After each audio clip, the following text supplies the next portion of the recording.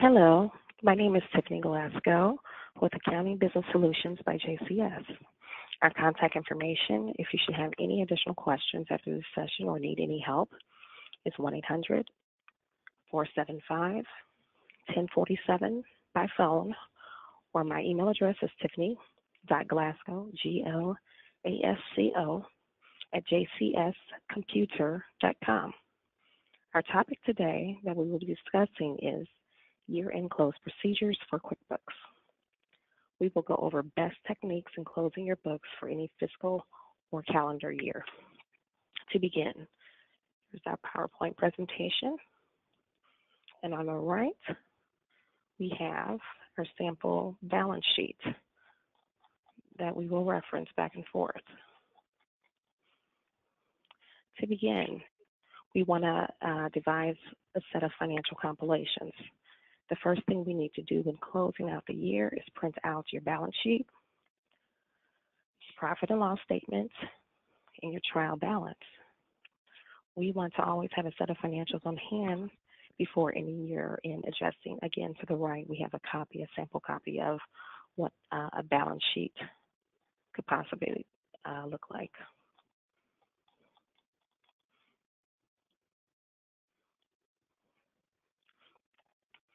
A balance sheet. A balance sheet is a statement of the assets and your liabilities and capital. Liabilities and capital of a business or organization at a particular point of time, detailing the balance of income and expenditure over the preceding period.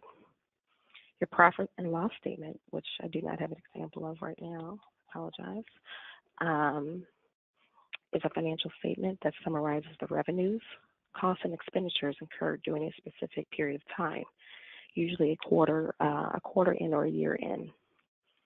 These records provide information about a company's ability or lack thereof to generate profit by increasing revenue, reducing costs, or both. Now, your trial balance is a bookkeeping worksheet in which the balances of all ledgers are compiled into a debit and credit, credit columns. The company prepares a trial balance periodically, usually at the end of every reporting period. So basically, your general purpose of producing a, a trial balance is to ensure that uh, entries in a company's bookkeeping system are mathematically correct. Okay. You, what you want to do first is run your balance sheet as a comparative to prior year. You compare prior year totals to tax return and prior year financial statement to check for any differences. Review balance sheets and make any adjusting entries as needed.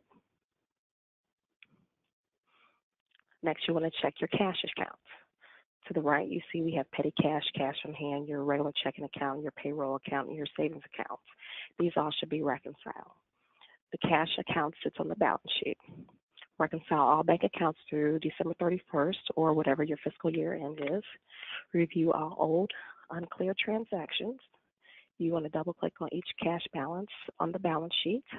Um, customize reports if you need to, filters cleared, and make sure uh, all the, uh, I'm sorry, all of the um, accounting has been cleared, debits and credits. Um, you may need to do journal entries to reverse unclear tr uh, transactions from prior year, so your retained earnings um, will not be affected.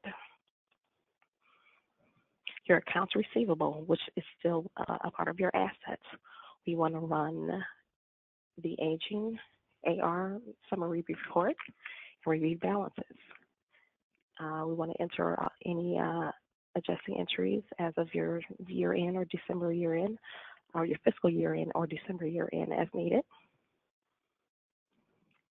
Your fixed assets, which is currently shown here under property, but under assets. You want to review the details of these assets.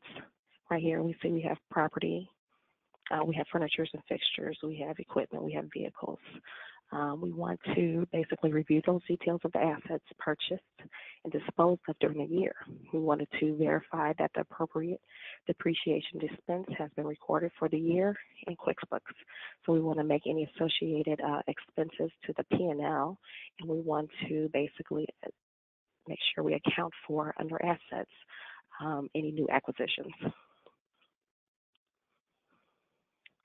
uh, any other assets that we could, that you possibly have on your balance sheet. You have prepaid expenses, employee uh, advances, any inventory. We want to review those um, review those entries and balances and enter any adjustments as needed as well. Accounts payable. Now we're moving down into the liabilities.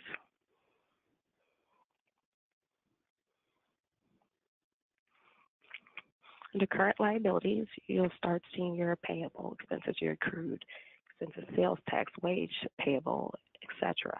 We want to go into these accounts and make sure they tie back into any possible uh, reports, customer accounts, so forth, uh, tax reports. Um, so, for instance, accounts payable, we want to run an AP aging summary and review balances under review balances, enter any necessary adjustments as well for uh, your fiscal or December year end.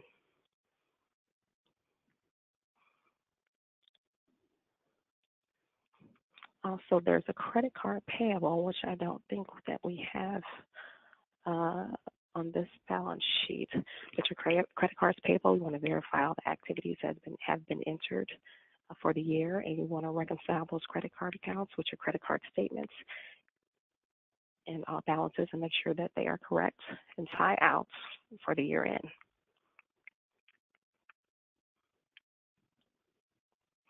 Payroll liabilities, as you can see, we have those to the right. We have your 401k, your health insurance, your federal payroll taxes, FUTA, FUTA, uh, state taxes, uh, unemployment taxes, and any other taxes that could be lumped uh, within this category.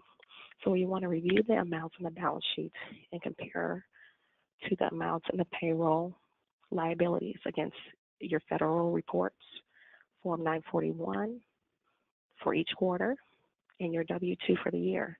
In addition, it's time to review your um, 1099s for contract labor and send 1099 forms to your contractors with the income over $600. These forms, the 1099 forms and the W-2 forms, are due to the IRS um, by January the 31st, 2018. And remember, this is a hard deadline.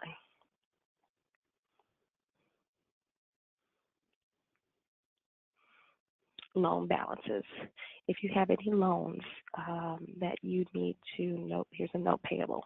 If you have any loans that you need to review, we want to make sure that you have any schedules that schedules tie into the uh, balance sheet and that any payments that have been paid have been expensed out and um, and have been also accounted for in cash. So we need to make sure your schedules reconcile with your balance sheet. Any opening balance equity, remember this account is always zero. If you see that balance pop up in there, there's something wrong. It needs to be expensed. It needs to be uh, showing zero. Your profit and loss. Profit and loss. Like I said, your profit and loss is a summary of revenues, costs, and expense incurred during a specific period of time. Uh, they record information about the company's ability and then their lack of to generate profit by increasing revenue, reducing costs, and or both. You want to review postings to expense accounts such as repairs, maintenance, office supplies for items that should be capitalized. Review salaries and wages and related payroll tax expense accounts. And please, those are different than, than your liabilities uh, that you see on the balance sheet. You want to review any negative income or expense account balances. So there should be no uh, credit balances in your um, on your P&L. And um, you want to compare amounts to the prior year. well, no no credit accounts is in your no credit balances in your expense accounts. Sorry, let me be clear on that. You want to review. Um, uh, you want to compare amounts to prior year, and let me go back when starting. Um, when starting to reconcile your books for the year, you always want to make sure your beginning balances at the top of the year that you're reconciling agree with prior year. So we want to start off the, the, the top of the year with the end year ending balances. So you want to compare those to prior year to make sure they're aligned and review total percentages to determine if reasonable. Journal entries. Additional journal entries that may be needed in your year-end close, including the, include the following: your accruals, your prepaids, your depreciation expense entries. These entries should be expense out on your profit and loss sheet. In conclusion, if you have any questions or need help with any year-end close procedures, feel free to contact our team or myself, Tiffany Glasgow.